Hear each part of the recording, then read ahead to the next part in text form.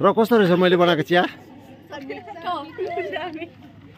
त्रेजी मैले बनाएको चिया कस्तो रहेछ?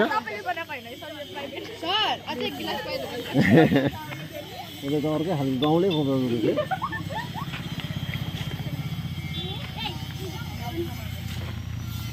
के खाने?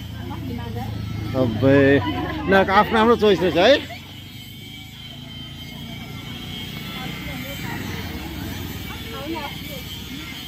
कस्तो रहेछ मैले बनाएको चिया? मिठो? कालो फेटा बाँधेर फेरि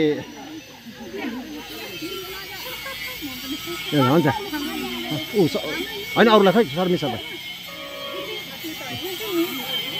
ए आस्ते